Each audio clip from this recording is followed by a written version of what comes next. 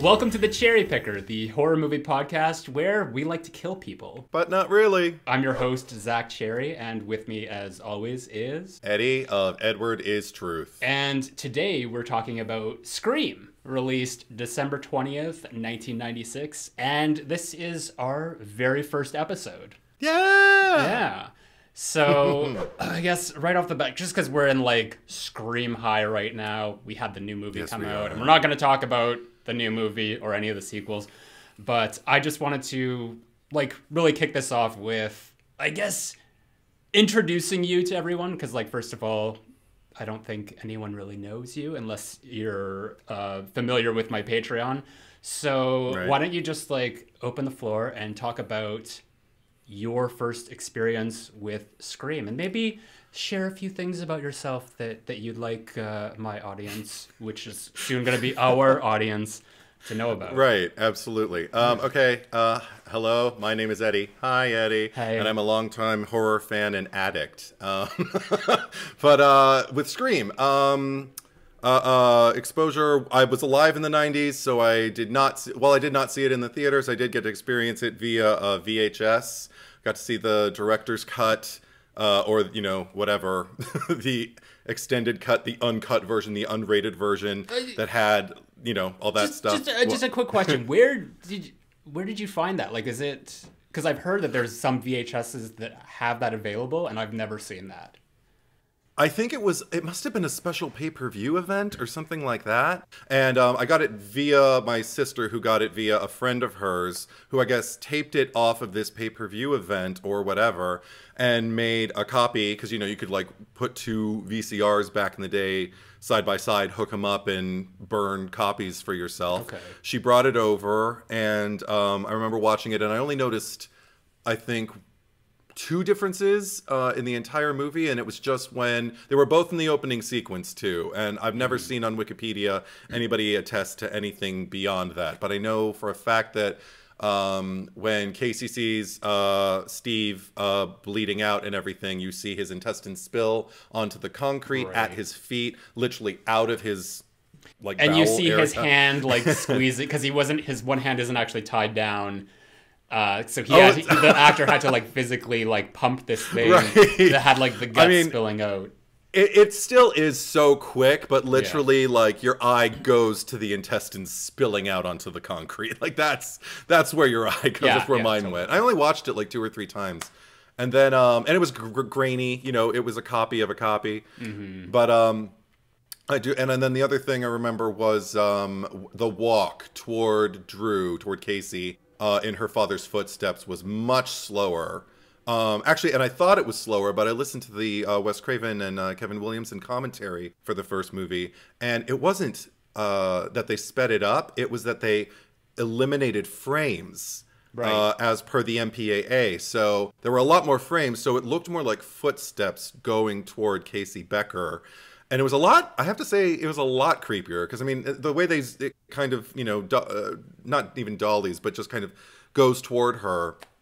Uh, the way it is in the uh, theatrical version that we're all familiar with, Right. it's it, it it has a very kind of ah I don't I, you know I don't want to be around you uh, feel, but the to take steps toward her, it had it filled me with a lot more dread. I was like, oh no no no no no that's close enough, Yeah. that's close enough, ah, and then it lingered on her a little bit longer Right. before. There is also uh, some additional footage cut later on uh, in the finale where Billy and Stu are stabbing each other. So I guess it was a little Right. more graphic with what it showed of that. But but other than that, I think was, those are it- the the three instances of, of, of what Okay. was mostly cut. Anyway, sorry. Please continue with your grainy first experience. But um, yeah, I can't remember if it was a rental or what, but I remember watching it alone late at night. It was a mistake because it worked. It was scary. Because I think by this point, I I didn't really know what to expect from Wes Craven. Because though uh, I loved New Nightmare, which I think was the last movie of his I saw prior to this. yeah, ninety four. Um, yeah. Um, even though I loved it, I don't remember really being terribly scared of it. So I thought, oh, and it's going to be like a teen thing, whatever. But I had no spoilers going in, so it was just happening to me. And uh, t- and I, I am such a. Can I say the the B word? Yes. okay. I am such a bitch when it comes to uh, the mystery of a movie. I rarely know what like the who done it is or anything like that. So when it finally got revealed, like I was suspecting everybody left and right the whole movie, and I just went ah, and um, I just remember uh, when by the time it was over, I was just kind of like, well, Wes is back. You know, yeah. Wes Craven. He's ha- back, ha- baby. Returned. Yeah. Um, well, well, bitch. That's um, me. my experience uh, was kind of the complete opposite because I saw it with a lot of people and I was very yeah. much spoiled going into it. It was my 12th birthday party and uh, I just had, you know, a, a bunch of friends over. Um, you know, my mom, you know, got a cake and, and all and pizza and all that stuff. Like uh, we lived in a building yeah. that had a swimming pool, so it was like it was, there was just like a, a, big event plan. And she was like, "Well, do you want to like go to the video store and get a movie, um, just so mm-hmm. you guys mm-hmm. can watch?" And I'm like, "Sure." And I didn't know what we were like gonna get, so we went to the yeah. video store, and I think that like my mom actually picked out the movie. I'd never heard of Scream before, and this was 1997, so it would have been like within the first year uh, that it was released. And yeah. I think like she knew that like I loved things like Goosebumps and Are You Afraid of the Dark? That was kind of my gateway into oh. into horror. Um, yeah. And and I think like at that time, like I was probably like transitioning out of it, like you know earlier in my childhood, like I really loved that sort of stuff because I had seen a few horror movies at that point. I think like the the two or horror movies I, I saw were actually the first one was uh, uh, Tales of the Crypt presents Demon Knight uh, and oh, okay. what was the other? Witchboard Two. Uh, mm-hmm. I'm not sure mm-hmm. what the the secondary title on that was, but though it, oh, it, it, it was enough to like intrigue me. So I think that she knew that I was like leaning towards the horror genre. So she's, I guess, okay. she had heard of it and was okay. like, "Oh, I hear this is really good." Because at that point, like Scream had had so much like word of mouth.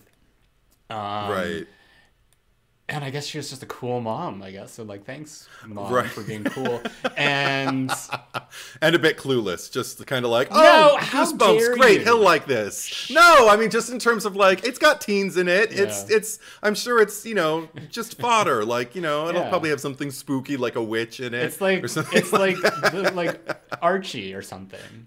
Right, like right. pre Riverdale, but um, pre Riverdale before Archie was sexy. Yeah, yeah. So anyway, and had abs. So anyway, we were like all here at the like at my party, and we put on Scream, and of course, like a few mm-hmm. people had mm-hmm. already seen it, and then like the first word out of their mouth was like, "Oh, well, the killers are Billy and Stu," and I mean, at the time, I didn't really register that as like being like ruining the movie. Like it wasn't a spoiler for me, just because like I wasn't anticipating like a who done it. I was just right. like, oh yeah, a horror movie. So I mean, like in retrospect, yeah, that was really sh- like shitty, and I wish that they hadn't done that. But for me, it was like the entire time, I kind yeah. of like I was like I was still like you know uh, going into the with the mentality that like you're not telling me the truth, like that's a lie or whatever. But by the time we got to the end, and I'm like, okay, because even there was the misdirection of the the fake out kill for Billy. So I think even at that mm-hmm. point, I'm like, see, I knew you were lying and they're like, "No, just you wait." and I'm like, "Oh my god!" Like you could have let me like ride. Yeah, right. Oh, you could have redeemed yourself. Yeah. um, Terrible. But I mean, it didn't.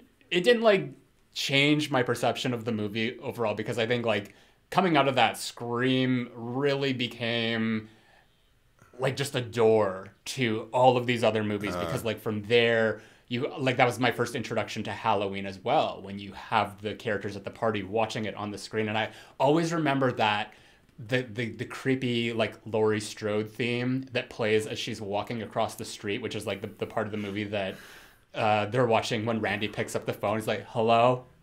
Yeah. Yeah yes. um and it just like that was so haunting. And it just like you've got a cat on your shoulder too yeah. Yeah. say hi to everybody. You. Uh, um, She's yeah. gonna be here a lot, folks. It Go was, on. maybe we'll see her butthole if she turns a, a little bit too. Yeah, she probably yeah. will. she just wants to be a part of things. Yeah. Go we, on. Yeah, and it was just it was one of those like like pieces of music that was so haunting. I'm like, I need to watch Halloween, and then from there was like Friday the Thirteenth, mm. Nightmare on Elm Street, like oh, Evil wow. Dead, all that stuff. So it so like you it, got spoilers for Friday the Thirteenth also by hearing the phone call in the I mean at this point like that is pretty much like the same thing as like Darth Vader being Luke Skywalker's father.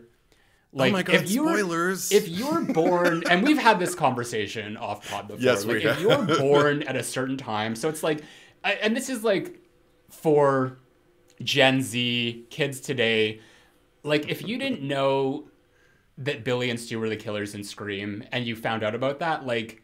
You don't have anyone to like. That's nobody's fault other than your parents because they Yeah, decided was to just like have you in Yeah. this at like at this point in time. So it's just like Yeah. my mentality always like going into a movie if it's like an old movie that I you know hadn't seen but I could have seen like my entire life is just like well Yeah. like it's old. There's like information is going to be out there about it. Like I think that like the statute of limitations for spoilers uh, I would say at least like a year and that's really generous because like you know in this day and age where things are available like everywhere like you know uh, Sure. movies are available for streaming within i think it's like 45 days after it's released maybe i'm off on that number but uh, it's we're, we're the, the Yeah. market is pretty much saturated with everything like once it comes out so you know i know that spoilers are really a thing that is annoying especially for this new movie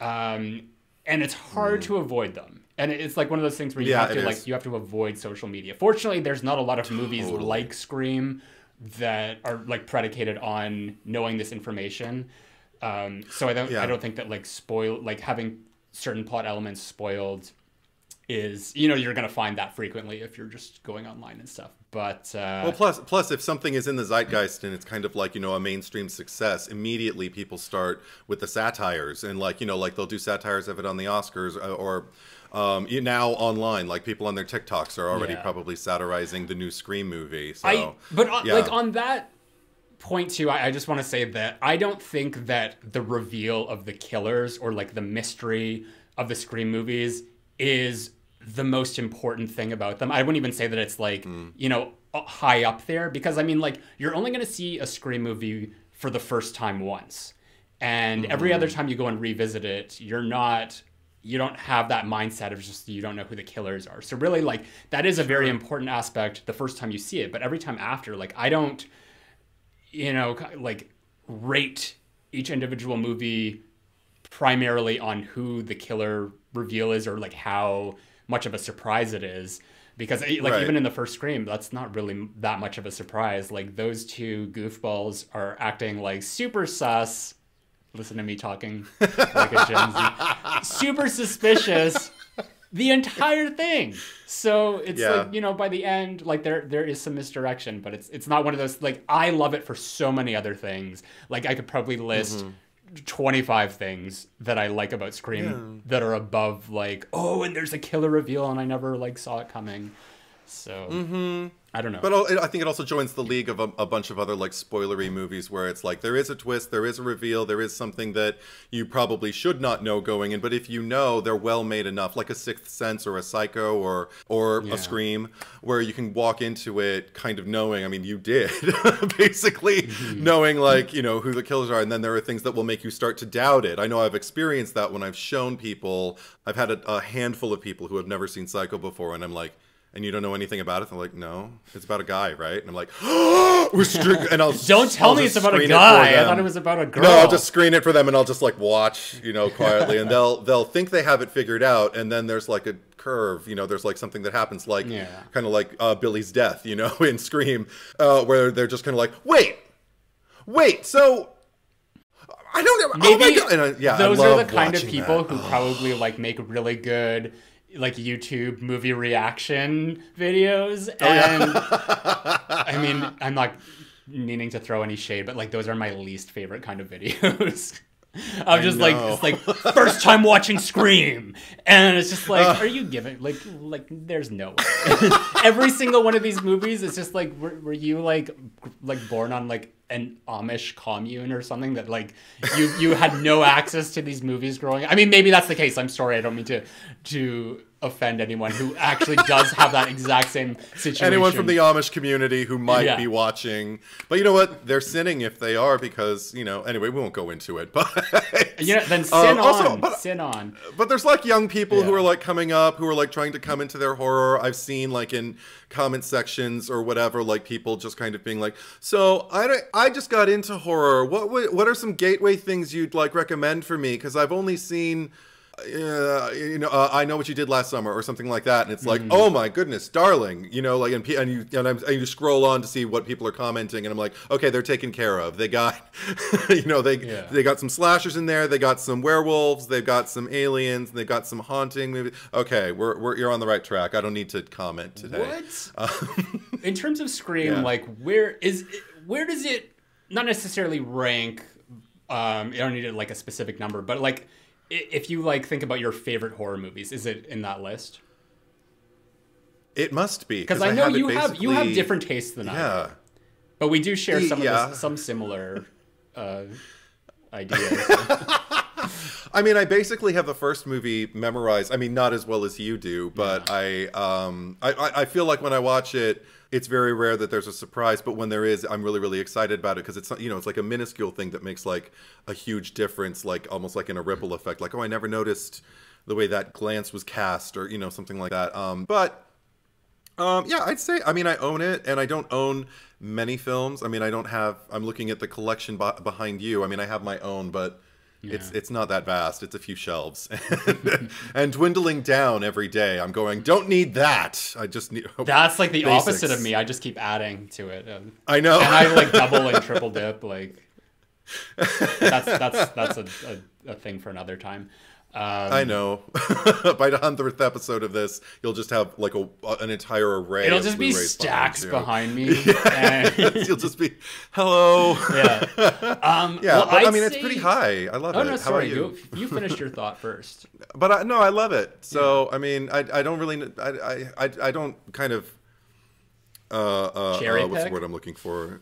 No, I, um, I do that, but um, no, I, I don't like kind of examine the blood over why something speaks to me and why it's going to stay on the on the shelf. The actual the thing is, I find myself making a case more so for something to come off the shelf rather than stay on. If something's going to stay on the shelf, it's because oh, I'm not getting rid of that. Scream Well- and I you know I have the little trilogy blue, so I don't know anyone who would get rid of Scream. Like that's no, that's a, don't frightening thought.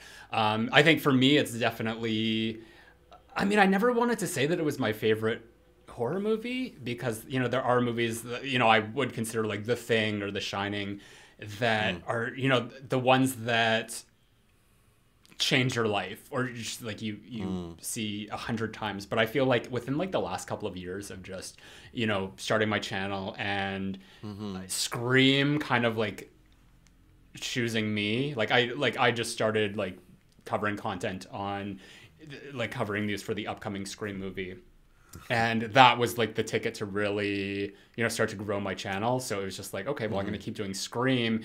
And then i kind of like rediscovered them all over again. And at this point i'm now just like no like i i'm pretty sure like i would put scream like if it wasn't my favorite i don't know i'd have to mm. like really do a deep dive and, and just kind of like look inwards to, to, to see like Yes. what is your favorite horror movie? But it's like scream has got to be at least top three at, at this point for me just just because it is so influential. And going back to what you were saying before um how like there are so many things that like when you you watch scream over and over again that you notice new things. And i think that's just like such a testament to wes craven uh, and really everyone involved, but like especially Wes, um, because there are so many layers and like textures to this movie that, like all together, well, like when it's all combined, you don't really like pick out certain things here and there, um, but it's like every single one of those things, like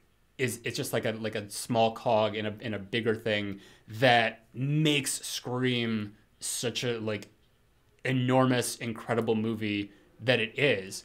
Because I mean, like even like the the videos that I do, like the Who Killed Who and stuff, like really delving into that and just seeing like, okay, well, I never noticed that before. Of just like a, like a certain nuance of how the killer is attacking Casey. And that's and you know, I know that this is one of the things that a lot of people challenge me on uh, in terms of my who killed who is that Yes. everyone is absolutely certain that Stu is the one that killed Casey, or just like the one that brought the knife down on her uh, on the front porch.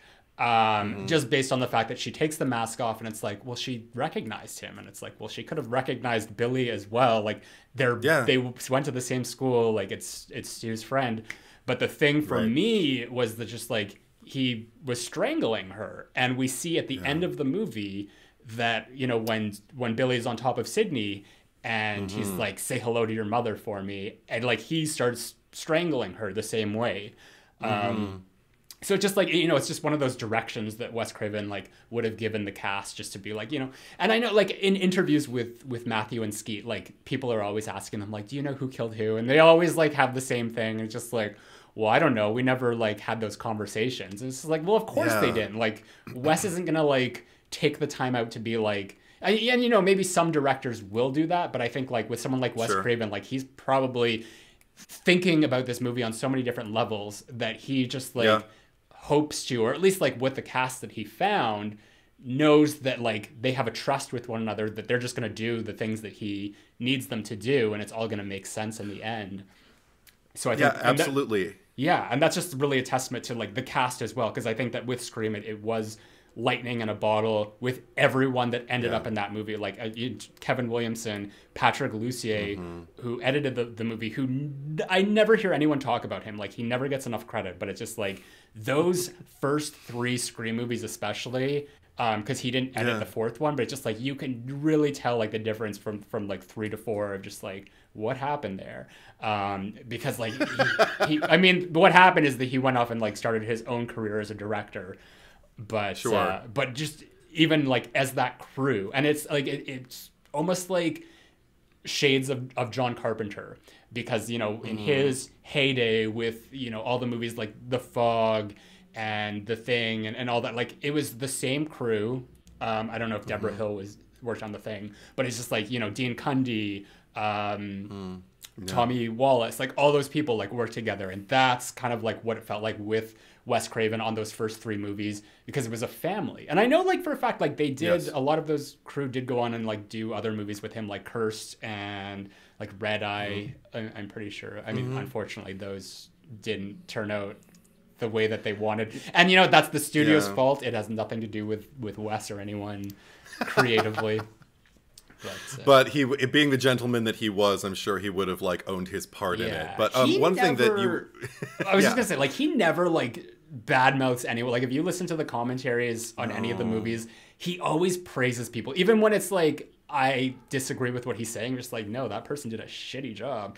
But he'll be like, oh, did a wonder. like, he's just such a nice like yeah, person. Was a nice person. Uh, I- th- so every uh, so many of the members of the crew that I've seen interviews with through the years who have spoken about him all say the same thing that he had less of a vibe as a director given you know the other directors they had worked with and he felt more like their favorite English professor you know Yeah. like English lit and um, also because they would have those conversations like he was always capable of that that level of conversation but at the same time he was all he he was a master of juggling the art form with the business side of it too. Like you were talking about, um, that's another thing. I think he's just kind of a master juggler, Wes Craven. Uh, the more I'm not just having this thought while we're sharing these thoughts, because one of the things that stood out to me. Um, always with this movie was the attention to detail and the more i watch it the more thing i start picking up on things and going like oh my goodness a parallel there and a parallel there and also your videos have certainly helped uh, point welcome. out things to me that I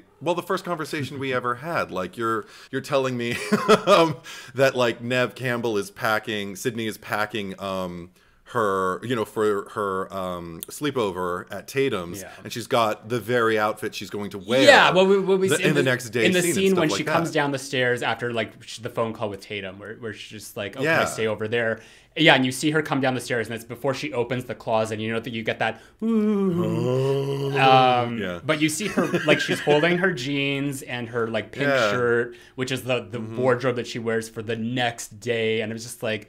Oh, I never noticed that. Like, it just like things like that. Like, he was always like on top of everything, just thinking of like what one scene from the next, and even like it, like er, because she at that point she's wearing the gray sweater, and Yes. you see like dur- the entire day like during school she has the sweater tied around her waist. So it's like I love that Yeah. about like this going down to like the most minute details of even the wardrobe Yeah. And I know that, like, you know, in terms of like wardrobe and color, like we've talked about this a lot too, and m- maybe we'll talk about more of that on the the sequel when we eventually do Scream Yeah. 2. But there's just like just the way that like the, they play thematically into the character's role in the movie as well. Like it's just things like that, and you know maybe that's not entirely Wes Craven. You know, it, it, you don't take credit away from the the wardrobe department, but Right. you know, still as the director of the movie, like you know, he has the the final call on that. So, and I think that's Right, why like the the yeah. first Scream movie really is the best. I mean, I know there's people out there who will challenge that and say that there's you know a sequel that is actually better than the original. And you know what, like Sure. that's right. you, you know if if you believe that like the, the fair enough but Yeah, the fact like yeah cool. like be that as it may like this the original scream was the only one that really didn't have any tampering from the studio i think the Yeah. most the most interference which really like turned out to be a good thing was that bob weinstein uh, thought that you know there wasn't any death scenes for like a really long stretch of time uh, in the movie, so that's why they added in the Oh, the, the principal Himbry death, Himbry. and I, I think it was even his idea to have the like the reflection of Ghostface in the eyeball. So oh wow. Okay. yeah, so I mean like I don't, know, yeah, I don't. they- I, I- he did mention that. I don't. so not a exactly, not like sure, yeah. totally horrible, but you know That's a, of huge pr- producerial duty, actually, is to just get out of the way and trust the people that you hired. If more producers and more studio heads did that, I think we'd have a lot more great movies to talk about. But whatever. Um, but uh, to finish my thought about like the Master Juggler, because the attention to detail always stood out to me, but. Uh, this most recent uh, watch when I just was kind of like just had the commentary on just to kind of like keep it in my head. Um, to hear the amount of times he because you know you think oh my god and it's such a smart script like kevin williamson and everything and, and wes craven directing those actors that way a huge part of some of our greatest memories from the movie have been improvised and sometimes with wes's you know direction to just be like eh, eh, we don't have like a, a button for this scene or we you know i don't know what to do with it. If you want to say something you know once they got what they needed do another take. And this one for you just kind of do something that you feel like. And people like Matthew Lillard could really, you know, blossom and bloom because Stu's a very different character on the page than he is in the movie through Matthew Lillard's like, you know, interpretation. And but see that kind of like attention to detail balanced with a kind of freedom I'm I'm a huge fan of directors who know how to give all the people they're collaborating with, the actors, the, and other members of the creative team behind the scenes, when they know to give direction um, and boundaries, but to give freedom within those boundaries, so you can really start to.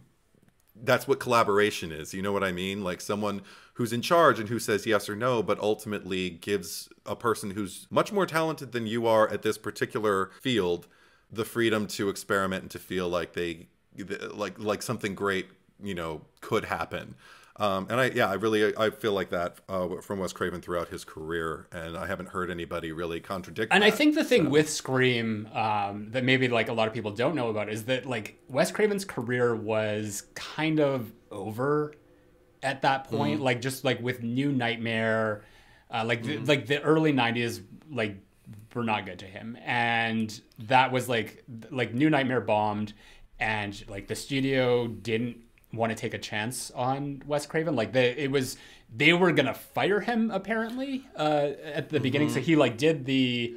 Uh, they- they filmed the opening scene with, with Casey Becker first because he wanted to just like get that done and show them that he could do it. Yes. So it was almost like with, with him, not so much starting over, but just like really having to prove himself that you know he was worthy of doing this movie. And Mm-hmm. you know, it's it's like it's crazy to think that you know someone of his caliber as a director would have to do that. Um, Yeah. But I think that just because of that, he, you know, and I don't want to say that like, you know, going into other movies, like, I don't think that he would just everything that I've seen from him, like, he would not be the kind of director who would develop this like diva attitude after like having this huge breakaway hit and going into like other movies. Cause he, he was always so like sweet natured and down to earth that I think that, you know, going forward, because he did want to like allow people to collaborate and like do your thing because like he recognized the talent in people. But I think like probably with two, three, and four, it, it got to a point where there was so much studio interference where it's just like his hands were mm-hmm. tied and he couldn't do anything. But it's just like and and we'll mention this more when we do get to the the later entries but there was definitely like a sense that i got that like despite you know like how much interference there was like he always mm-hmm. went above and beyond like you know even if like the script was not good and it was like it just seemed like you know there was nothing to salvage like he went in there and just like gave it like 100% made the movie the best mm-hmm. possible version of the movie that it could be um, and i think that yeah. the reason why scream 1 is so good is just because like he it, it it's like everything just came together like he was already like going above and beyond but nobody was getting in his way mm. so it's just like that's why that movie is so successful and so popular today and he would be the first person to acknowledge the perfect storm of people with whom he was working yeah. on this film with like he, he names them like you know just like throughout the entire commentary it's just name after name after name after name mm-hmm. um in in you know like uh, in praise of like you know what they've done like you said. But um i but uh, it's nice to know that like he knew and, and kevin williamson certainly knew too like wow this is really coming together. Mm-hmm. like this is really we're really really lucky to be where we are right now and they behaved like that and everybody did. I mean i, I just saw an interview uh, a recent interview uh, via skype with um, skeet ulrich and uh, matthew lillard um, discussing that time and it's so funny because they were both so incredibly grateful to be discussing this thing that they cared so much about and that they invested so much in. And they said, but it's so funny because people ask us all of these questions like we just filmed it and they don't realize like it's been it's been over 20 years yeah. folks like the memory goes like, you know yeah i mean like just just in terms of yeah. like you and i or anyone listening who's not an actor i know you are an actor though but um just like for whatever your career is or your regular day job. So like for instance, right. like I used to be a server for like a really long time.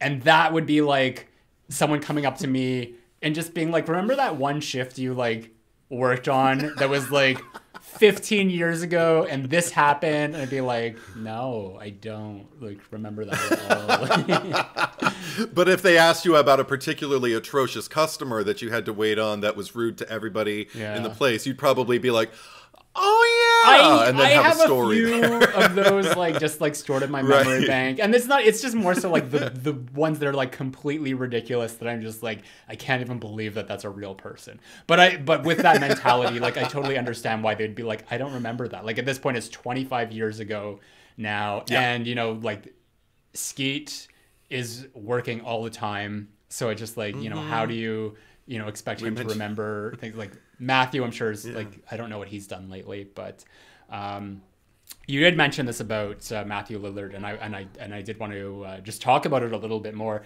Is that in mm. the original script, Stu was like a very nothing character, like just very two dimensional, and yeah. everything like because he did all these ad libs and stuff, but even like his personality and just like the nuances that he brings to the character, he's like the most.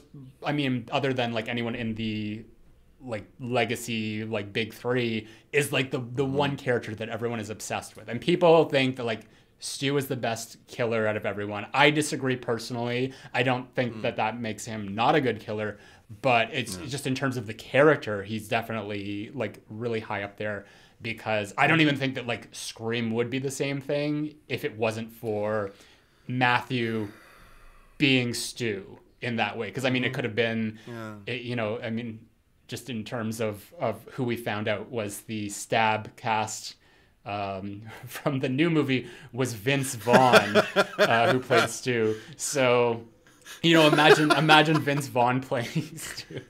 Which I mean, oh I'm sure God. that would have like had its own little um, eccentricities like, as well. But um, post swingers, like that's yeah. insane. But anyway, post Psycho reboot. My God. Uh, no, this no. Like the he was in his remake 30s. was uh, 1998.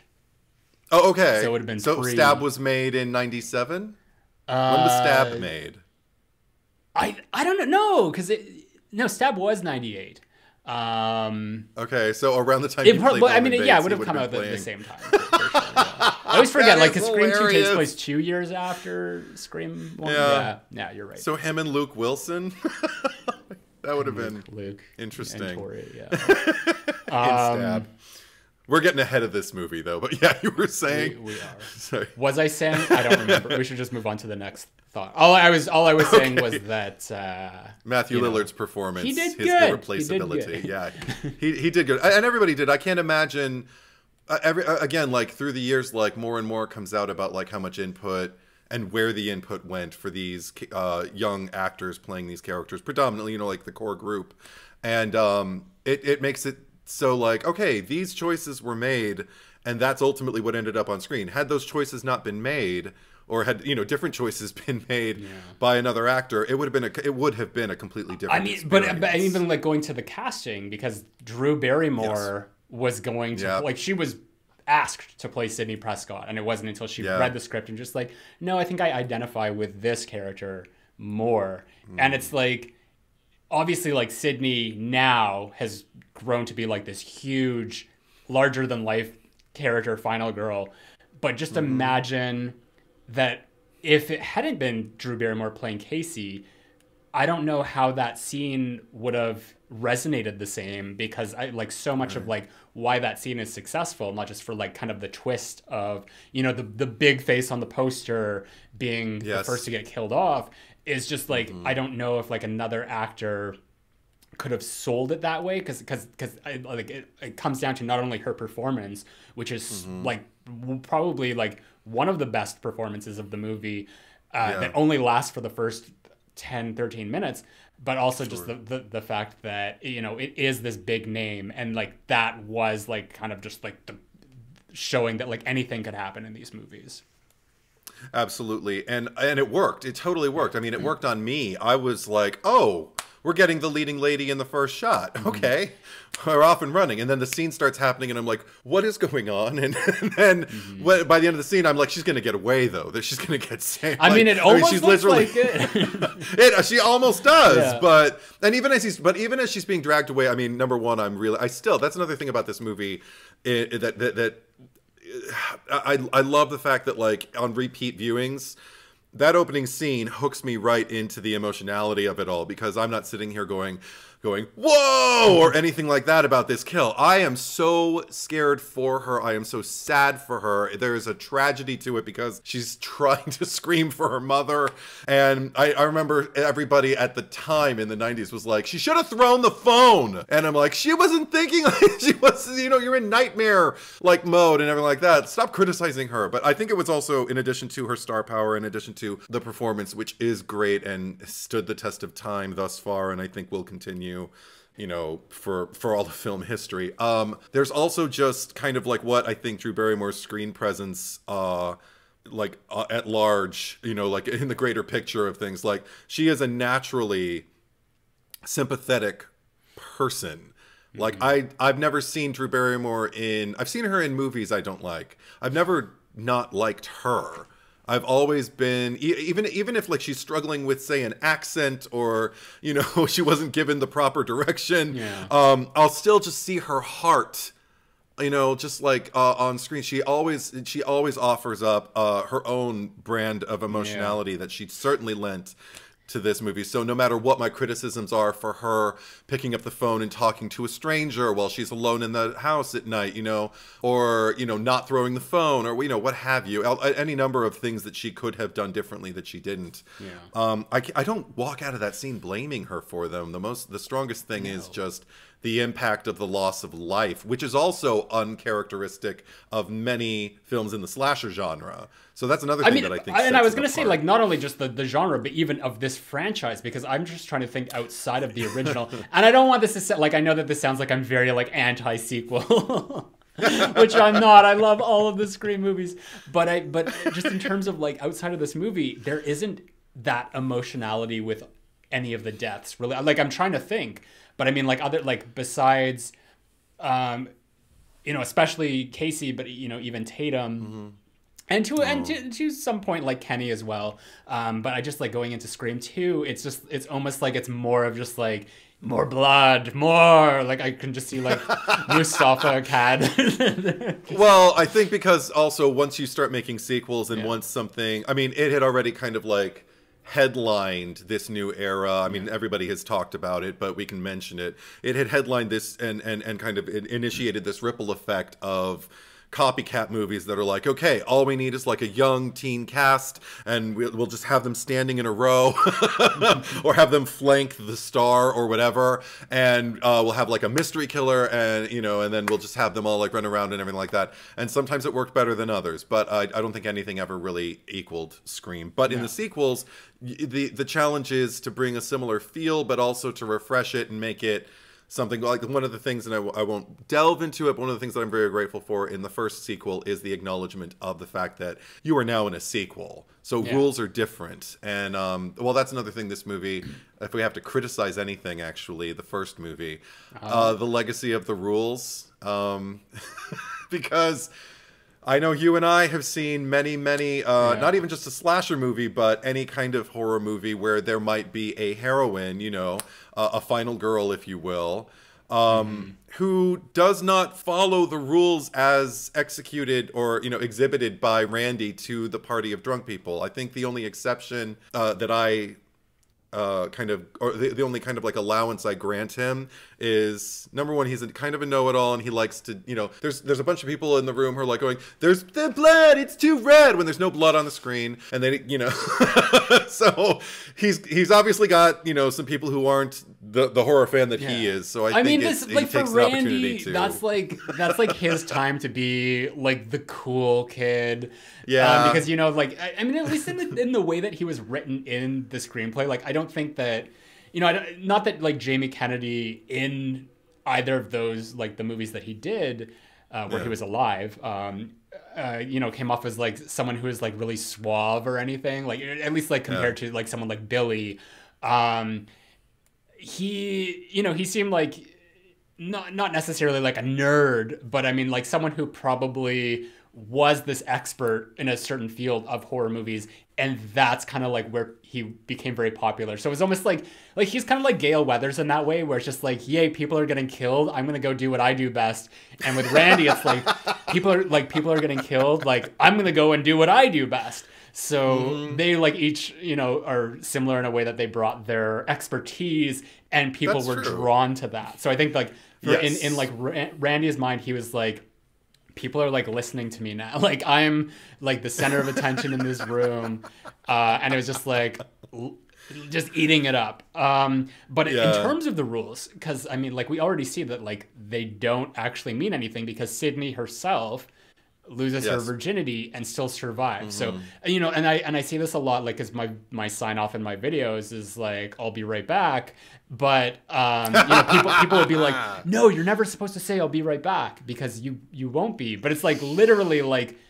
There's so many, even in, in Scream. There's uh, like right after mm-hmm. we have the mm-hmm. scene of the rules, and Dewey comes out to the the van and and uh-huh. invites Gale on the walk, and she goes out and she just turns to Kenny and she's like, "I'll be right back." So it's like right off the right off the bat, she's ignoring the rules, and Gale lives. So it's just showing that like like that's that's the whole idea of Scream. It's just like you're subverting yeah. the rules, and I don't and I think that like a lot of people don't get that.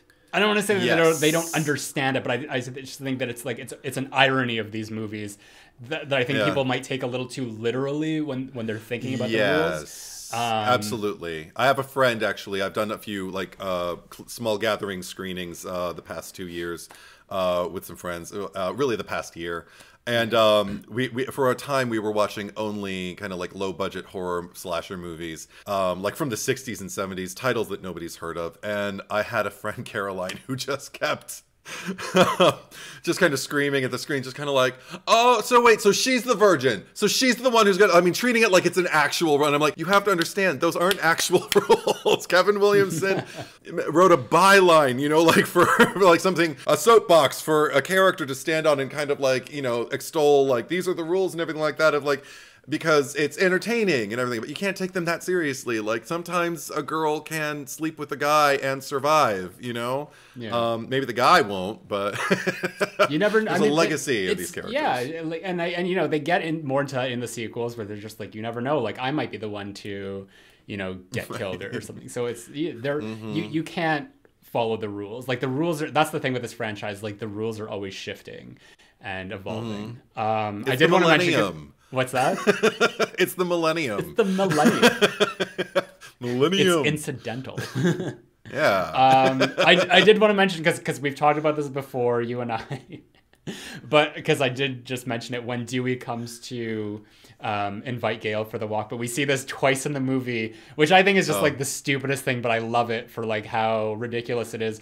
Um, because we see it when Dewey comes to like bang on the door because he does it in such like an aggressive and like surprising way. But then there's also the scene when when Billy arrives at the party and he's just like hiding behind the door and he like Yeah. jumps out and he's like that and it's just like Yeah. that is not like a normal like human response like like i would expect if billy came to the party he would just kind of like saunter up to the doorstep and be like hey sidney i was hoping we could like talk or whatever but he's just like ah! yeah. and I think also just like maybe Billy's such an ass that like he's probably thinking, oh, it's been a while since there's been a jump scare. Ah, you know, like, well, I mean, he is own mind, making a real life horror mind. movie, so maybe that was Yeah, totally. But even So- like with with with uh, Dewey just being like, "Hey, I want to go for a walk," and it's we talked about this, and you know, we made a correlation. There's a, it's not a Treehouse of Horror episode of The Simpsons. Yeah. Um. Oh think- no, no, it's it's uh, a sideshow Bob. Uh, I th- it might. I don't know. I don't There, it's the Cape one Fear, where but no, but they're like one- making fun of Cape Fear, and they and the Simpsons Yeah, family goes okay, into the, the witness protection program. So they're living on a boat that Bob, Right. um, I think he like untethers, and they go down the river. He's like planning to kill Bart and the family Right. or whatever. But like Bart's on edge because you know, like they're in the witness protection program because Sideshow Bob is coming after them. and I hope people know what The Simpsons is and, and watch it to understand this reference. But Yeah. um, uh, but Homer like comes barging into Bart's room, and he's like Yes. got a butcher knife, or not a butcher knife, but like a kitchen knife, A and carving a knife, carving yeah, knife, and a tray knife. of brownies. He's like, "Hey Bart, you want a brownie?" And it's and it's just like that same kind Ah! of mentality of just like, like Dad, like I'm like I'm really scared. Right? He's like, "Oh, that." I'm sorry. How how foolish of me. And then he like leaves, comes back a second later with he's with wearing a hockey mask and like brandishing Yeah. a chainsaw, which is like actively live. And he's like, Yes. "Wait, Bart, want to see my new hockey mask and chainsaw?" yeah, right. And it- like, ah! And that just like, oh, yeah, that reminds me of in Scream when those characters are like, "Hey, we need to do a jump scare just just because, just for shits and gigs." yeah, yeah. That that's Yeah. a great uh, satire Yeah. of, of what those moments. Yeah. um, but um, in addition to that, let me see. Is there anything else that like stood out to me in this particular screening? I feel like I might want to consult my notes. If you have anything to say, go for what? it. Okay. How many times have you seen Scream? Dear God. It's probably triple digits. I don't know. Okay. But I love how I you always I- have to like I- rewatch it. I mean, like I didn't re. I mean, I saw it uh, actually just before the new movie came out. I actually did a marathon of one, two, three, four, which Ah. I've never done. So that was the last time I watched Mm-hmm. Scream, and then the next day went and saw five. But um, at this point, just because I always have it like on in the background, or like if I'm editing for you know a, a video, I might do. So it, I, it's in the hundreds for sure.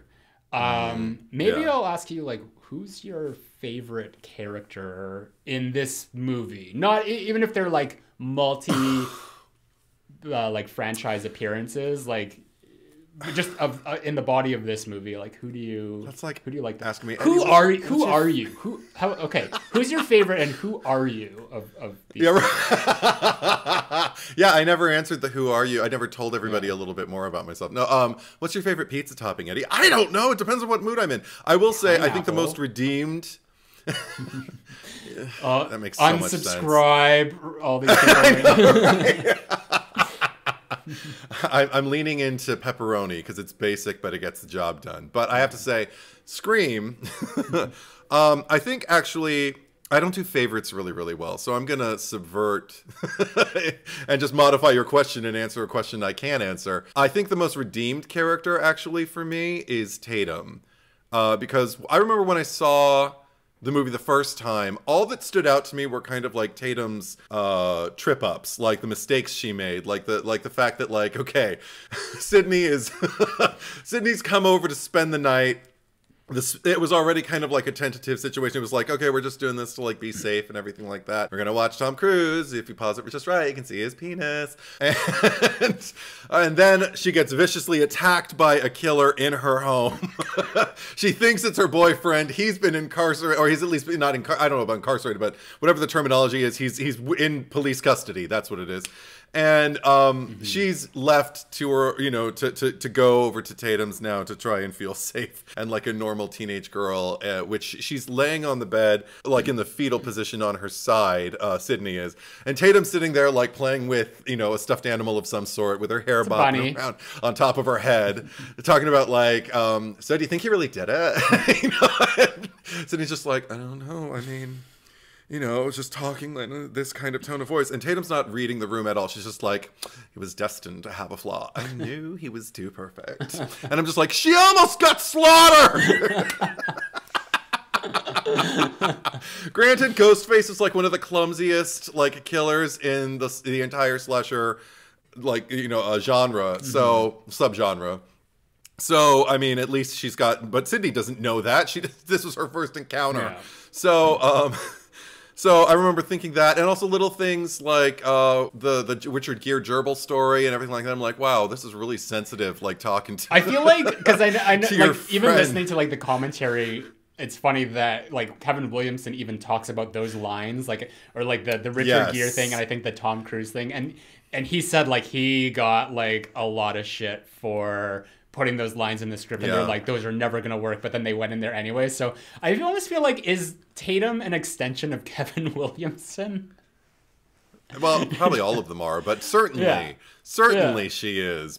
but the thing is, in recent years, it, it hasn't been like, it hasn't taken that long either. But I remember for like maybe that first decade or so, Tatum was almost kind of branded among me and my contemporaries as one of the worst best friends like really? in film history. Well, because she just seemed to not, I don't know, she just didn't, I, I we kept waiting, I think, for Sidney. And I think we were o- overtly sympathizing with Sidney. As I've grown older, I've kind of seen where Tatum is reaching for her. And there's some things you just can't understand if you're not inside the experience. Also, I realize like it's been a year since Sidney's mother has been killed. We have no idea what Sidney has been like this mm-hmm. past year. And I'm not saying she should get over it like, you know, like Billy tells her. The way the cookie saying, crumbles. Moms get murdered. But, uh, Idiot. But um, I'm just saying. One crumbly cookie.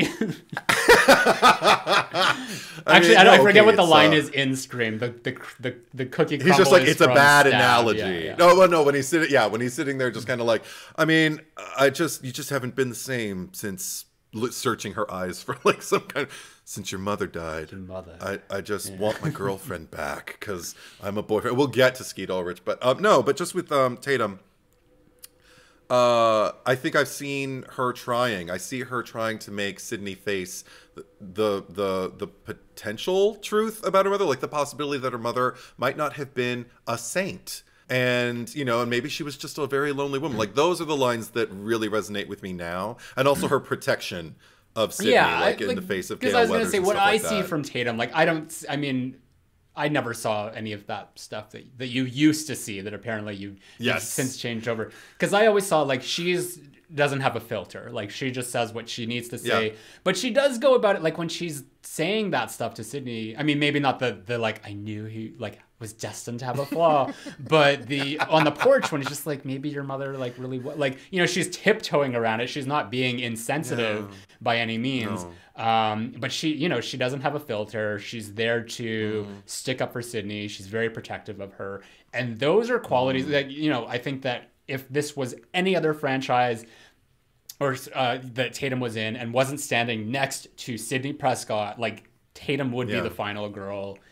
It, like mm. hands down, because she is like just like like has so much depth as a character, and we don't see that in any other Friends, like and like any of the the movies. I would say, uh, you know, if I had to find someone who matched that just in terms of like a best friend, you know, possibly mm-hmm. Sarah Michelle Gellar in I Know What You Did Last Summer. But I mean, that's mm. maybe not the, the most fair comparison just because I think that Sarah Michelle Gellar is like up here while like Jennifer Love Hewitt, just in terms of like the character that we get, is down here. Um, yeah. But you know, we can talk about that movie another time. I think Yeah. that I can't. Tatum I'm not going to argue. Tatum is not my point, favorite though. Yeah. character of this movie. Okay. I, Who's your maybe she's my. I, I I know I did a ranking uh, of like it, the Scream One characters. I think that she's probably. Yes.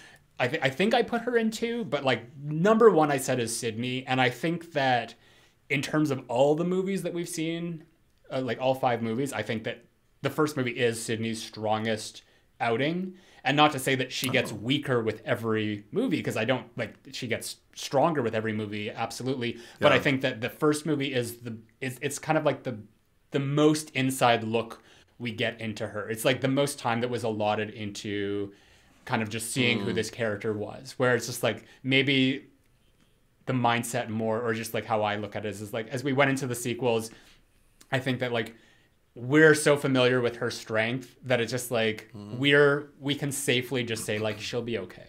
She's gonna she's gonna Yeah. be good no matter what. Whereas like this movie, I actually like you feel like oh my god, like you know is she gonna get out of this?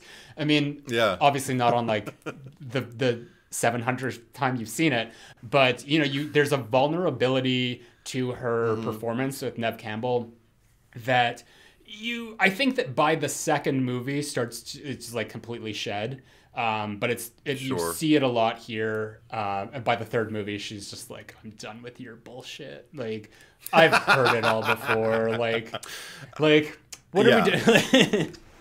Yeah, this is. I, I would never criticize like where she is in her particular arc. You know, I mean, overreaching or like franchise arc, movie to movie, Yeah. because I think it's handled pretty well throughout every single one of them. But in this in this movie, I think, um, yeah, it's probably the most varied and complex because she has the most growing to do in probably the most limited amount of time. Yeah. Um, Did we find Because- out? Did you? You didn't tell me who you were. Which Oh, who I oh Yeah, who which- I am. who- who what do you identify I with? Oh my god! You tell me who you because I don't know. I mean, okay. So here's the thing. Like, I inwardly Yeah. think that that I am Gale Weathers, um, and I had this conversation. I, I, I did a, a guest podcast with uh, Scream with Ryan C. Showers, and he asked me this question, and I had to say like, you know, I think that I'm a Gail. Like, I just feel like inwardly.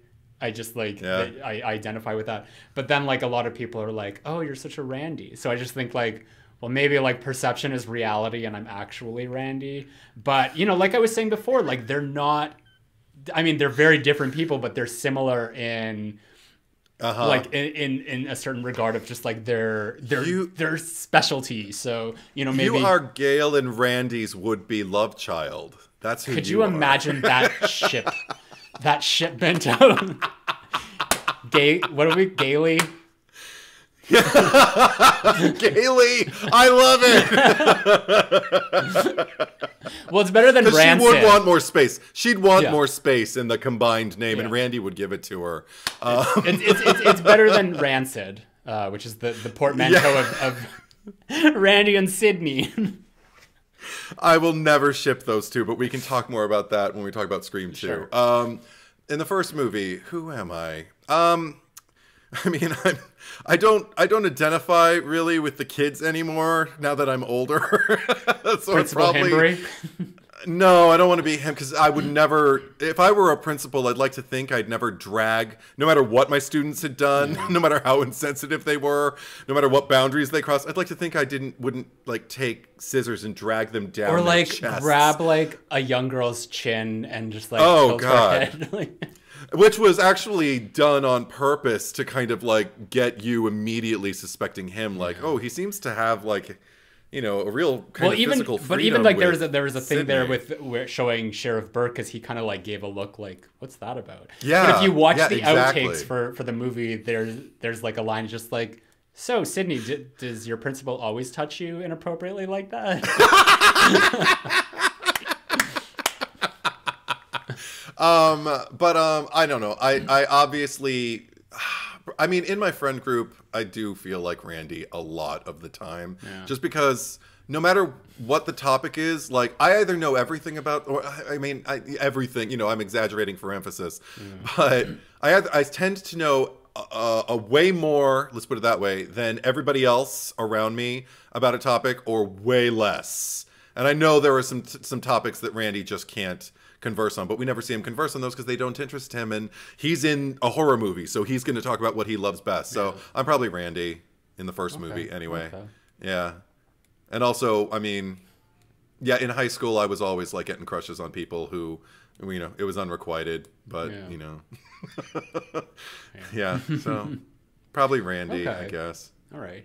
Anything else to add to Randy? Because I, I we're just making our way through the characters here. So Um, I uh, I mean Jamie Kennedy again, another one who was cast who uh, kind of meets. He's one. I think he might be the only person in the movie who kind of meets Matthew Lillard's energy in that uh, video store scene, where it's just like a very simple formula. I mean, his face goes full cartoon, um, and uh, it's to- but it, I never because they're both in the same headspace and they're both they're both good actors. They're both in the same space sharing the space. It's not like either one of them is chewing the scenery. I think that's a term that gets abused a lot because chewing the scenery isn't j- like just being theatrical. It's overacting and doing it badly like being a ham actor.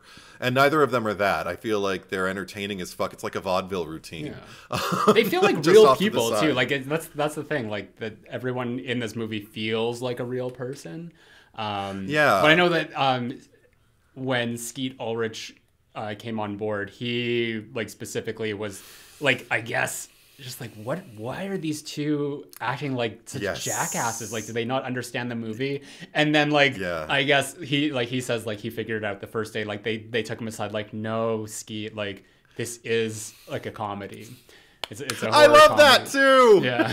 I love it when actors who are like young actors are like in uh, a, a movie that's like you know kind of supposed to be exhibited for their age bracket, you know, Mm-hmm. and um, they because the same thing I heard a similar story about Shannen Doherty when she actually went to a screening of Heathers. Yeah. And the first thing she said as the credits were rolling and the lights came up and everybody applauded, she seemed really upset and people were just like, Shannen, what's wrong? You know, are you upset with the way you came off in the movie? It was a really good movie. What's wrong? And she's just like, nobody told me it was a comedy and just ran out. and I'm like, awesome because you were too invested. You took it so seriously. Like you it meant something to you. And she grew you know she she but because also i think when she read the script th- you know film there's the script there's the, the the film you write the film you shoot and then the film you edit. And the one you edit is the one that ultimately gets delivered to the people but we don't know what it's like to sit with no prior knowledge you know unless no one somebody has never seen never heard of scream and they read the scary movie script by kevin williamson the original one they're not going to know what it's like you know for those actors I actually talked to with this new someone uh, a, a few days ago because we were, were talking about Scream, or they, they asked me about it, and I'm just like, "Oh, you've never seen it?" They're like, "No, but I've seen Scary Movie." no Okay. Oh my god! I I've know. met many, many young, young people who likes and even liked Scary Movie, and I'm like, did it make any sense? Like, yeah, it was funny. And I'm like, and then you saw Scream. What was that like? And they're like, it was good. And I'm like, Although oh, okay, I, well, I do love the line where, where he comes out, he's like, mm, ketchup, same stuff my mom puts in her spaghetti. yeah. baby, there's a baby after that too. I like Scary Movie too a lot. I haven't Like, seen it I in mean, so but the- long. Maybe maybe Yeah, maybe I need been to a while. that one. Um, That that the first one was strong. I remember. I, I think that one might hold up. There might be a few jokes here and there that we can't make anymore, but you know, I I would still. I think I'd still enjoy sitting. Okay. I don't know. Maybe we should discuss that at some maybe point too. maybe well, tell us what you think. But um, but okay, get it. Moving on to Skeet, Skeeter. Yes, Skeeter. I've never. And that you know what his real name is? I I actually have to look way. this up because like No, I, what is I it? can't remember. But it's not ski. Like it's like it's something really like basic.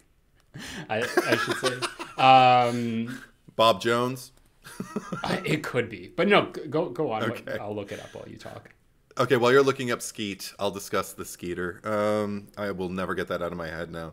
But um, poor Skeet, he deserves more respect than that. Um, I adore I, his his actual performance is probably the one I adore watching the most subsequently. Like, because I he really annoyed me that first time I watched the movie until I realized he was the killer, and then all of a sudden I stopped feeling like I was watching a young actor just kind of navigate his way through, and I felt like I was watching a you know a performance.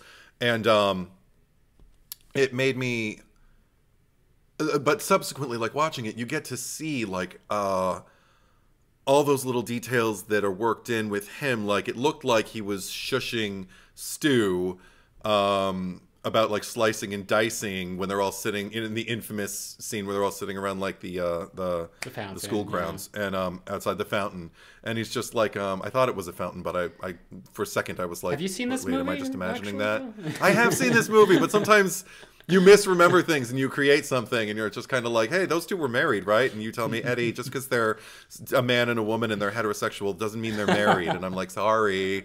But um, anyway um, so they were sitting at the fountain and he's sitting there saying like hey it's called tact fuck rag and um, you think he's just being protective because you know Sidney's actually actually connected to someone who was gutted.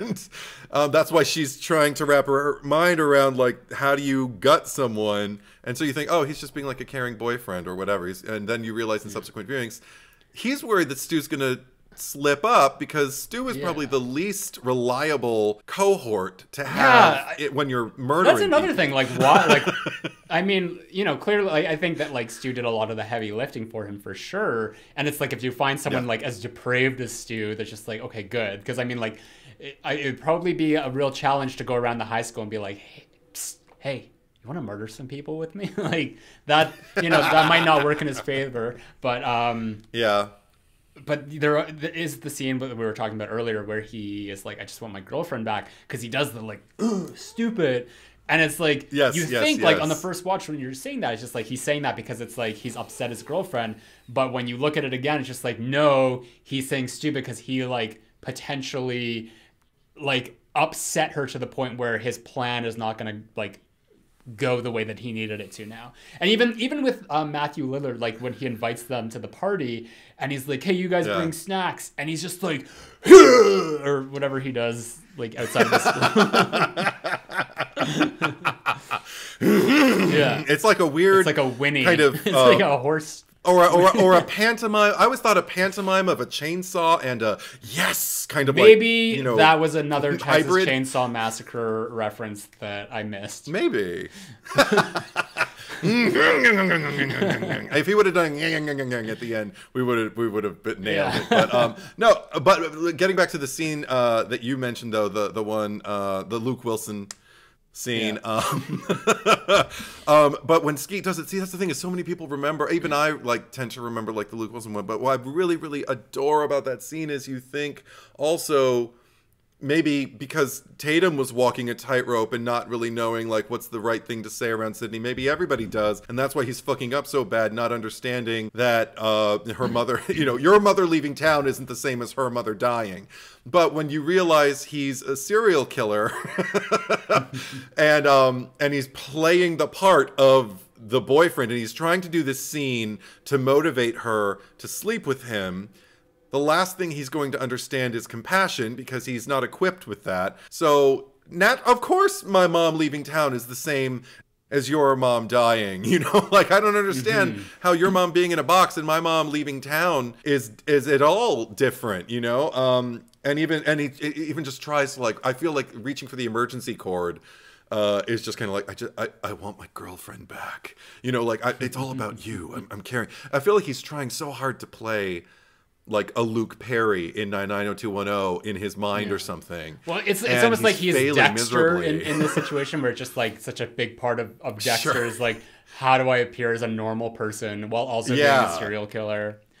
Um, and if Dexter were really bad at it, yeah, and she, I just love the reaction shot because like the like there's Neve uh, as Sidney just going like like one at take after another is just like this baffled kind of are you serious and then she just leaves and so I I feel like the stupid is really just like god damn it like I should have I could have scripted that better. I could, Yeah. you know, like it's, Yeah, it's true. like almost like an actor, like you know, after a take, like criticizing his own performance. I, I, I think it's absolutely. he incredible. also does this thing like we see like a lot of these like leers that he makes throughout the movie, like not just the one Oh, that yeah. like with Stu, but um, uh, there's one towards the end when they're up in the bedroom that he actually like added in because he was he didn't even tell Wes Craven about it, but he like looked at the Yeah. door and then like went back to the conversation. He's like, "Did you see what I did there? Because I know that Stu's coming in there and he's gonna like you know fake murder me." And they're like, yeah, like keep Yeah. that in. And even the scene at the beginning, and I always like go back to this because I because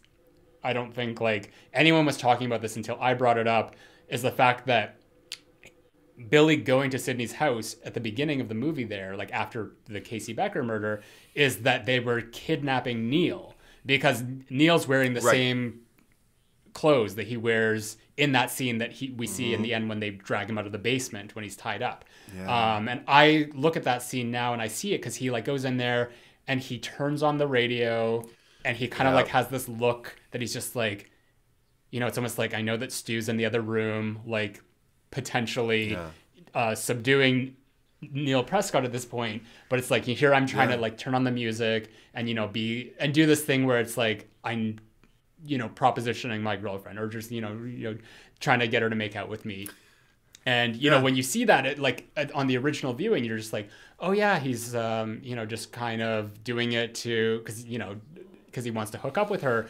And even I think Yeah. that you know even when people go back and watch that again they they're not really cognizant of the fact that like this was there was a greater plan to that and and having like more layers to their scheme of like this is Yeah. where they're kidnapping the father. So it's like it's kind of brilliant. Like I like to think I know that like they apparently didn't have these conversations with Wes Craven. I mean, no one asks about that specific scene, but I think even in that moment, it's like he looks shifty, and it's like you know that he's he's up to something. Just like turning on the radio too, because that was something I noticed recently. Because you hear the click of the the Yeah. the radio turn on before the the Don't Fear the Reaper uh, cover comes on. also, before I forget, uh, Skeet Ulrich's uh, birth name is Bryan Ray Trout. Oh. Bryan Trout. Ray. Bryan sound- um, Ray Trout. I know, I know, but I'm just thinking like first name, last name, because you know, like in school, he was Bryan Trout. Bryan Trout. Like, oh, that's what? Did, oh, wow, what a last name. I mean, his parents can't really be blamed for that, but I mean, they could have changed it. that, could, that couldn't have been easy. Well, I understand why he went for Skeet. Was it? Was do we know if Skeet was a nickname or I something no like idea. that? I mean, it, I, I, I'm not going to look it up now. You know, if anyone's listening Okay, and you want to you want to do a little Yeah. bit more uh, research, you know, you you know where to, to go. We're open to it, yeah, Yeah. totally. but uh, I want to know. Uh, but um, uh, but uh, yeah, good name, Skeet Ulrich, good name. Um, also, uh, just a little incidental thing. Uh, people always kind of attribute his casting to like an echo of Johnny Depp in Night- Nightmare on Elm Street. And um, apparently, according to Wes, he didn't think he looked like Johnny Depp at all. He just thought he was the strongest actor. And it just seemed to be, I think maybe because also he was interacting with him as a person and maybe looking into Skeet Ulrich's eyes, his actual face is not the same as looking into Johnny Depp's. He had, like Wes has experience doing being around both of them and around their energies, and they're both very very different actors to him. He just thought he was casting the strongest actor, Yeah. and then on screen it looked like oh, Yeah. okay, I- great. I mean, I think it's just one of those things that it just worked out to be very serendipitous uh, of the fact that Yeah. you know, like you have this character who's you know, homaging Glenn, uh, Johnny Depp from, yeah. from Nightmare on Elm Street in that way of, of Yeah. uh, coming in through the the window, uh, as it were. But uh, yeah. who else we got? Uh, Gale and. Dewey Okay. Oh, sitting in a tree. sitting in a tree. Um. Uh. Who should we lead with? I mean, you yeah. I mean, six of one, half a dozen of the other. I mean, we could talk about them Okay. separately or we can talk about them together, but I feel like it, it, this is really the only movie in the franchise where they do kind of exist like as their own entity. Because, I mean, like moving forward, Mm-hmm. they are pretty much like tethered together for, for, for Mm-hmm. everything else. Like, like their storyline is so like heavily predicated on the other that it's just like their their romance is is the big thing so it's like and that's something that's not even really introduced until maybe the midpoint of this movie so like really like i think that even like introducing us to these characters at the beginning of the movie like we don't really get a like kind of a, a full idea of who they are we just know that gale's the bitch she's like this this Yeah. cutthroat journalist who who will do anything but you know she is throughout the most of the movie and like dewey is just kind of doofy um Yeah. and, and they just happen to come together and it was like Yeah. like magic. So Yeah, um, I know uh, the the the turning point for Wes with Gale's character. He loved the line that Kevin Williamson wrote because he's like, "Now I know who she is." Was um, move your fat tub of lard ass now. um, he was just kind of like, "Oh, okay," because he was he, he was kind of I guess he when he first read the script, he was just kind of like, "Okay, she seems a little opportunistic, a little Yeah. shallow, a little self-absorbed, but oh, okay, she's a full and full-fledged, that's like her that's really her first she doesn't line care." of the movie because before that we just we see her in the background or on TV but that's like the first instance where she really like enters the movie and it's like right off Yeah, the bat right. just like wow you are just atrocious yeah, but uh, one thing that I do really appreciate about her is, in addition to being an unapologetic like Stone Cold bitch, is I, I don't think it's that, that that's her only quality, and I think it's there in uh, Courteney Cox's performance. It's when she's um having her second confrontation after she gets socked by uh, Sidney. Yeah. And um, they're at the school, and she's just sitting there with the compact, looking at her shiner.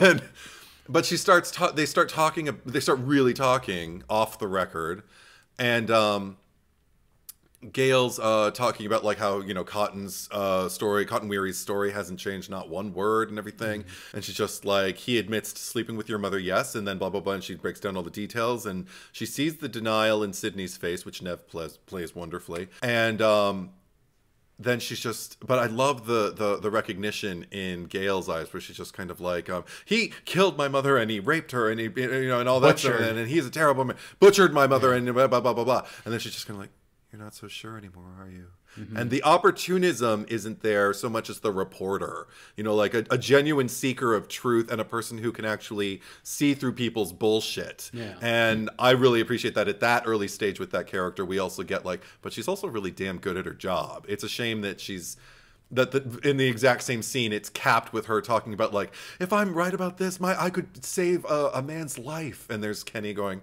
Yeah, we could be a part of something. Great. She's like, "Do you know what that could do for my book sales?" but is like, that a "There." shame And she's is back. that a shame though because it's just like I love that like she is that multifaceted like she is like so opportunistic like she's first and foremost and this is something we've seen like of Gale like every movie but it's just like I'm here for myself but I'm also here like there's also other things because like at the end of the movie like she didn't have to come back and save Sidney's life um you know she did that because Yeah. she is a good person like Yeah. she she's a she agree, is a human uh Yeah. after all is said and done. It's just that like, you know, she's she's real. She's just like she's she just got thrown and she just wants to go for it.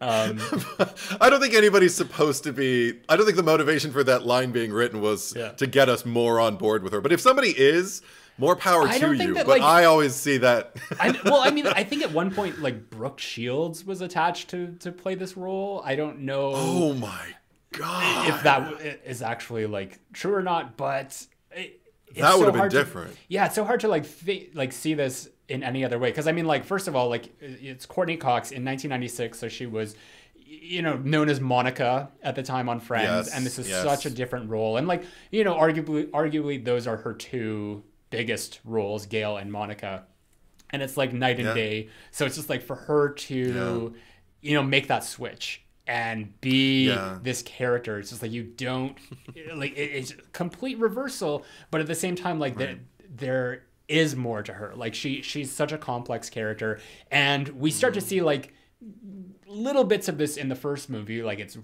really see a lot of it in, in the sequel. Um, but I like that you know she isn't the main focal point of this movie. Obviously, Sidney No. is. So it's like I like Gale's my favorite character of the whole franchise. But I Mm. d- like I like that you know she is kind of peripheral for most of this movie. Uh, I, Mm-hmm. I like I don't need to see anything else from her.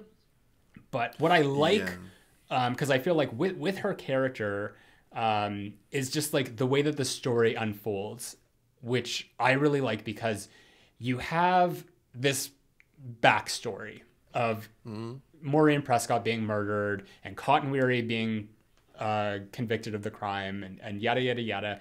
And it's like, you know, in, in like a regular movie, that might be a piece of exposition that just goes on for a minute or two and just takes up screen time and slows the movie down and it's just like exhausting because I mean like exposition is hard. Um, like because there's no it's you know in a script it's like having two characters come together, two or more, and just like discussing something that people already know about, or at least the two characters wouldn't know about. That's why, like, most of the time when you see a script or like watch a movie or something, it'll be someone explaining something to someone who doesn't know what's going on. Otherwise, you know, it's like, well, as you know, your mother was murdered yeah. last year, and I'm the reporter who wrote a book about it. Um, but w- but what Kevin and I'm sure like Wes, because you know I haven't read the script as much as I've seen the movie. Um, what right. they do that that's so great is that the backstory of Maureen Prescott is kind of just like peppered into the the story of like mm. the first act or so because it's not until like 40 minutes into the movie that we get the full story and it's done in such a way that it's like it it actually furthers the characters and it doesn't feel at any mm. point like we're stopping the movie to explain what happened so it's like it's almost like a mystery in itself for the for the first 40 minutes is like what did happen to Sidney and her mother because all we get mm. is like the line where where Tatum's like oh th- they said it's the worst crime we've seen in in years, like even worse oh, than. Oh, right. And then like, well, it's bad. That's another example of Tatum like walking the the tightrope. But then even in yes. the in the principal's office, when they're just like, oh, we've got Sidney. she was you know, what's her face's daughter. Um, mm. But then we get Sidney when she goes home and she turns on the news, and it's just like, just one year ago, uh, wife and mother, blah, blah, blah, was murdered. And it's like we're slowly getting these pieces put together, but it's like yeah. it's done in like the most organic way possible. That's just like it the the story feels real. It's it's not like we're we're just like okay, well we need to fill you in on everything because you need to get up to speed of, of what's going on here. And that's something mm-hmm. that I miss in in I mean like any horror movie. I feel like I feel like if you can write your movie that way, um, mm. then then you you already have a more successful movie. I agree. Yeah. Um, I, I have absolutely nothing to add on top of that. I think you, I think you clinched it perfectly. Okay, well, okay. Um, but um, uh, in addition to that, uh, Dewey. Um, if we're done with Gale, we're done with Gale. We're done with Gale. Um, Dewey. Uh, one thing that I appreciate uh, is the fact that like um, Dewey was used, you know, the the scary movie, the the the, the Wayans scary movie mm-hmm. word to describe him as doofy, and he is doofy. What one thing that I really appreciate to this day, though, even though I'm not scared of it anymore, the first time I watched it, I remember. Um, I didn't suspect him as one of the red herrings once until um, that last hour of the movie when we're at the house, and it is the last hour the party at the house. It feels so oh, much that shorter. scene is like it, it but goes it goes, on for days. It, like they even said oh like that, that, was a nightmare because it, it, took forever to. to well, yeah, that's it's the bulk of the movie, and it doesn't feel like it at all. But um, anyway, um, but when uh, after his um, you know, you want to see my new chainsaw and hockey mask moment um, with Gale and he asks her uh, to go walking, and they they're going to start like you know taking another a turn off and off the path and everything, and he shines the flashlight on him, and he's just kind of like, "You're not scared, are you?" And when he did that the first time I saw the movie, I was like, "He's the killer." Holy shit! He's just been like playing idiot like this entire time, almost like playing possum in plain sight, and now he's gonna kill you. And I don't want it to happen but because I kind of don't still don't like you, Gale, because they hadn't really she'd only manipulated him up until that point. They hadn't really started the romantic, yeah. you know, the sincere sincerity of their romance yet. Um, I only felt like you know she was making a buffoon out of him trying to get the, the, information. I was, you know, I'm 25. I was 24 for a whole year. Um, but um, I, I was terrified for her, and even I, I, I was still kind of like, is the movie just trying to like still be humorous when he asks her like, "You know what that constellation is?" And she's like, "No, what is it?" He's like, "Oh, I don't know. That's why I asked you." I was kind of like, "Oh, he's still doing it. Ew, this is so gross." I wonder if that I was ad lib. Uh, I'd have to like look over the. It feels like it. Yeah. it's it's an old joke. It's got whiskers on it, but I think um, I I appreciate it. I think it's it's it's cute because it's like banter. You know, yeah. like it, it if if they're gonna like you know establish some kind of like romantic chemistry, that's a perfect way to do it. But I don't think I stopped um, suspecting him probably until he got the knife in the back. I thought maybe he was still faking it when he discovered uh, Mr. Campbell's uh, Campbell. I always say Campbell. Sid, Cindy Campbell, Sidney Prescott, Mr. Prescott's. Yeah. I mix up this, this the way in Scary Movie Anna Faris and Neve Campbell. Anyway, um, anyway, The car, when he sees yeah. the car and he and he acts all you know like whatever. I was like, oh my god, maybe he's faking it. And I yeah, it was it was a it was, but finally when he I got think stabbed, like that was, was, like, such a great twist of the car being there as well because I mean the yeah. that's the thing with with these movies that I think like when you when you have to like understand the motive of the killers, there's always someone that they're trying to frame, and Mm-hmm. Yeah. that's like especially when you look at the movie in retrospect because I mean there are so many scenes where like Stu at the video store is like, yeah, I think it's the father, and yeah. and Tight that's, like, close up. it's like completely what they're doing. So it's just like even like when uh, Sheriff Burke is like all those calls, like they go to Neil Prescott's phone. That when you see the car, like that's like uh, my mind when I first saw the movie. Even though I had like idiots telling me uh, it was Billy and Stu, yeah, yeah, I'm yeah, just thinking yeah. like, oh my god, what's he doing there?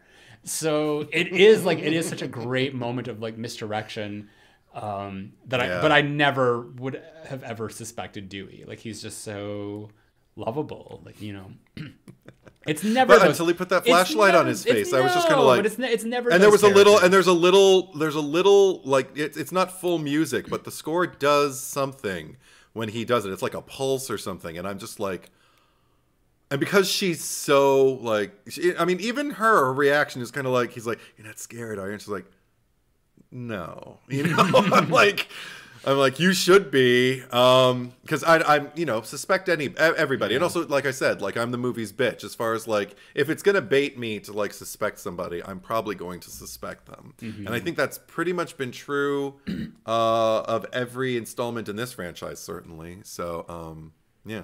Okay. i never know who the killer is. It is always a surprise. We'll, we'll get get we'll get more into that move on in when the we do franchise, when we do the other sequels. Yeah But, uh, anything else you think that we missed before we get to some cherry picking? I think that's pretty much it. Like I, um, I don't know. I, yeah, thumbs up, folks. If you haven't seen it, sorry we spoiled it for you. yeah. I'm, I'm still I'm still unsure. You know, I, mean, it's top Yeah, three yeah. favorite horror movies, but I you know I, I don't know. Yeah, but still, you don't want to commit. Yeah. Um, Okay, but yeah, it. let's get to the cherry picker.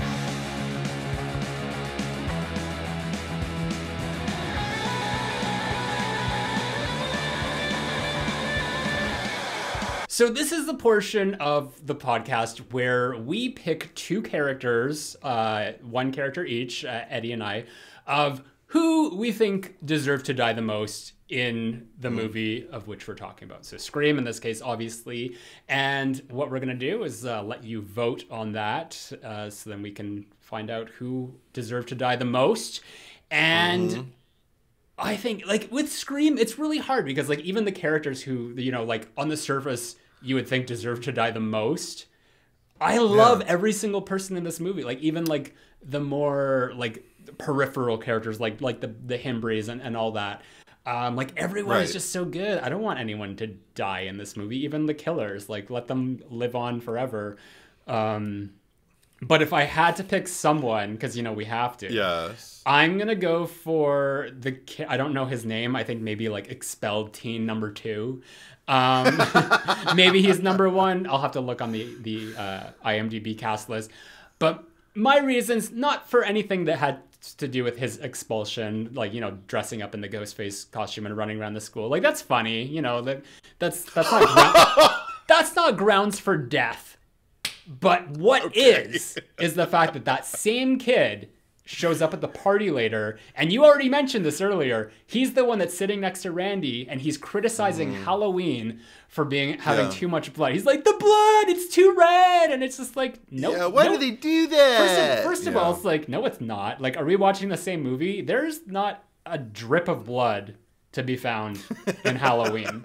So, so I'm I'm choosing him to be the most deserving to die because, like, a, I mean, criticizing you know one of the the best horror movies ever. Um, Mm-hmm. So there's that. Um, Grounds for death. Grounds for death, right there. I don't even know if there's any like. There's not really a lot to say about him because that's that's his biggest thing.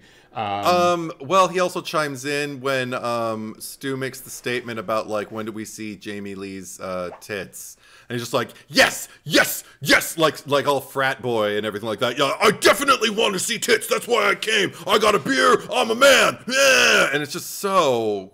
Oh, God, sure, like, we'll dude, throw that we in. get We'll it. throw We- that in there too. We get it. Yeah. You're straight, okay? so, so that pisses me off. I'm sorry. Okay, I'm so grounds for your- death. You don't like. You, you're criticizing Halloween and you're straight. So